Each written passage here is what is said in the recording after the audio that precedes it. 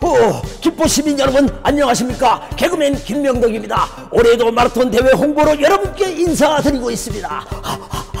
자, 김포 한강평화 마라톤 대회가 9월 1일 일요일에 개최가 되는데요. 참가 종목은요, 하프코스와 10km, 5km, 참가자 전용에는 고급 기념품과 김포 금쌀을 드립니다. 지금 빨리빨리 접수하세요. 자세한 내용은 김포시 육상연맹으로 문의하시면 됩니다.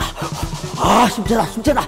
자, 음, 접수 기간은요, 8월 16일까지니까 얼른 서두르셔야겠죠? 자, 지금 밑에 자막이 쫙 나가고 있습니다. 자, 참고하시고, 자, 지금 한강 평화 마라톤 대회 많은 성원 부탁드립니다.